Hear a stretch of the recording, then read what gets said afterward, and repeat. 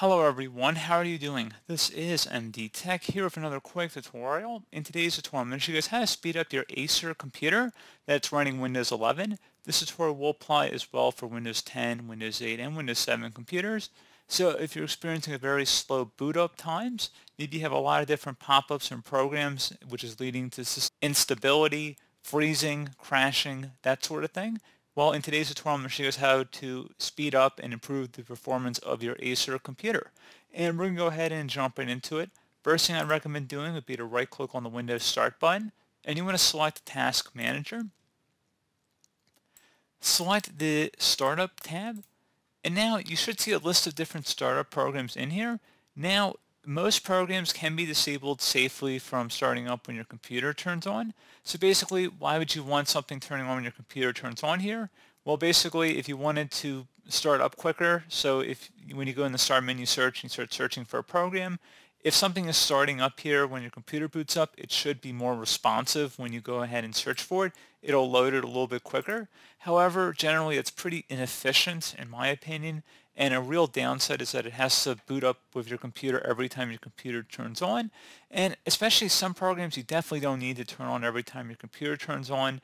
For example, like Microsoft OneDrive, unless you're using OneDrive. If you're using Dropbox or maybe you're not using any sort of file syncing application, you certainly can disable that from booting up when your computer turns on. Generally, what I would recommend keeping enabled would be an antivirus program. But if you have printers and other stuff, you can pretty safely disable them by just selecting the entry and then select the disable button. And if you find that you want to turn it back on, you can just come back in here down the road, select it, and then select the enable button. So again, something pretty straightforward for you guys to try out there. Something else I'd also recommend doing would be to open up the search, type in apps. Best match or come back with apps and features. Go ahead and open that up while we're on the topic of applications, if you have a lot of programs installed in your computer and you're not using all of them, I would suggest removing programs you definitely do not need or may have been bundled with other applications you've downloaded and installed in the past. So unless it's a Microsoft Corporation app, which some apps you can uninstall while others you cannot, generally most programs can be uninstalled in here. So not only will you free up some hard drive space, but you can also remove programs from your system, which will also clean up services and different background tasks that may be running. So again, something I would definitely recommend looking into there. Something else as well, if you go into the search menu, type in power. Best match will come back with edit power plan. Go ahead and open that up. You can get to this too by going through the control panel and then select the power options. So we can actually go back to control panel here set view by to large icons and then you can select power options and that'll get you to the power options page. So on this page here, we're going to go and select high performance. If you do not see high performance, you might have to expand the show additional plans here. So please keep in mind that this will increase your performance, but it should decrease your battery life if you're using a laptop. Doesn't matter if you're on a laptop or a desktop, you can still set this to high performance. So when it says more energy, obviously that means more if you're on a laptop than a desktop. So definitely something I'd recommend adjusting here. Close out here. Something else we can try here too, if you open up the search, type in adjust. Best match will come back with adjust the appearance and performance of Windows. Go ahead and open that up. Now, the absolute best thing you can do for performance is set it to adjust for best performance. And if you select apply and OK, it'll save the change. Now you will notice there are some graphical differences like when you're moving stuff around on the screen and some of the text won't appear as clean. So you're welcome to customize some of those options so if to go back to adjust. You can go and check mark certain items in here and then play around with it by selecting apply and OK. And you need to turn a few of them back on, that's fine, like just to improve some of the overall appearance of your Windows operating experience. So definitely for example, if you want to show window contents while dragging, you can keep that check marked. If you select apply, you can see it'll stay on the screen. Stuff like that. You can also do stuff with the text and thumbnails here too, like smooth edges and scrolling. So again, just a few different things you can modify here. You're welcome to keep some of them or all of them enabled or disabled. Doesn't really matter to me. But again, the absolute best thing for performance would be to select adjust for best performance, select apply and OK.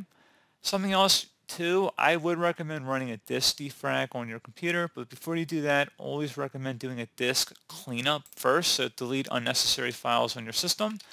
So I'm going to go ahead and open up disk cleanup. Best result should come back with disk cleanup. Go ahead and open that up.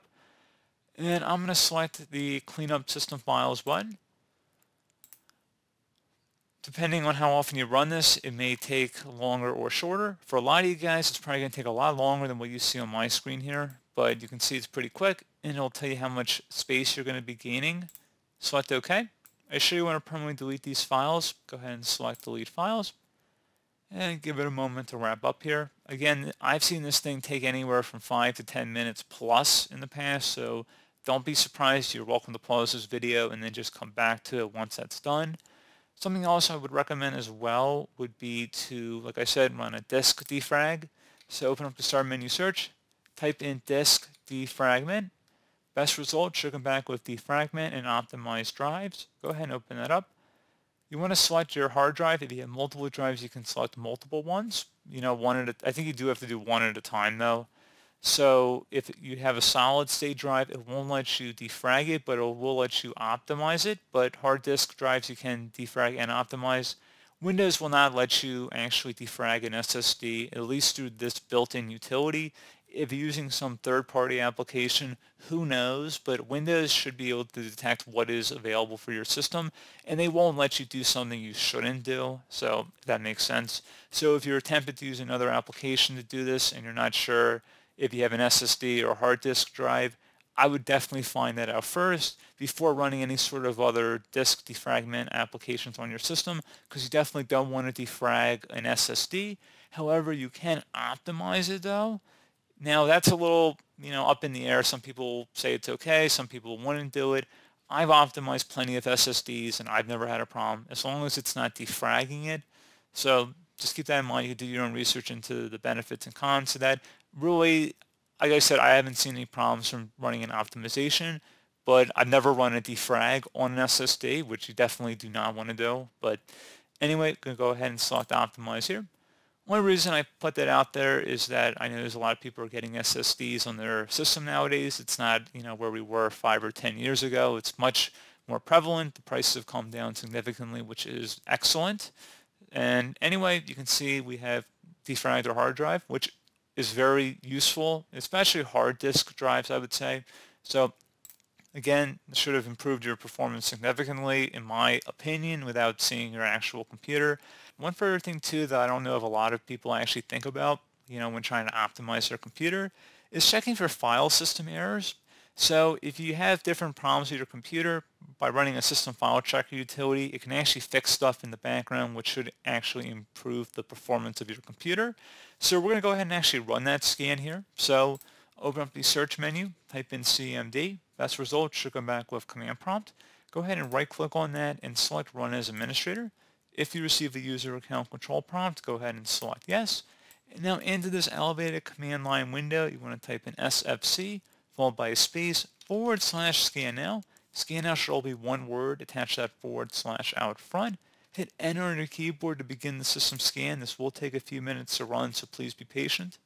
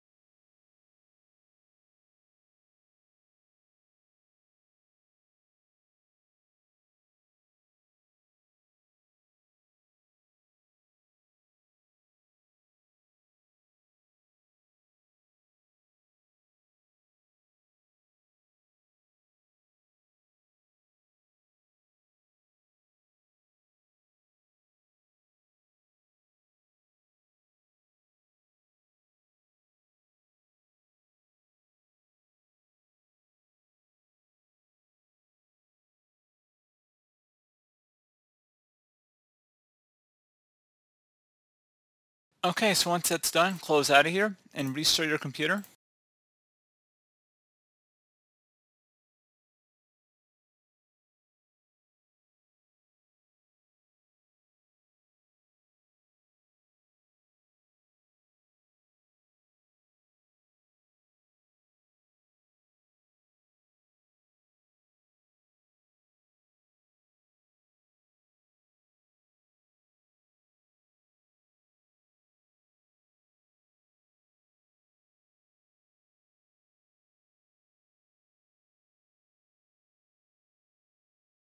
So there you go guys, hopefully that was a pretty straightforward tutorial. I do hope I was able to help you out, and I do look forward to catching you all in the next tutorial. Goodbye.